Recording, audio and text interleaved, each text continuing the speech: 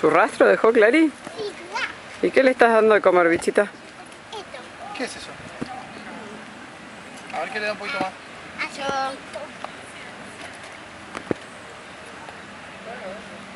Le gusta eso.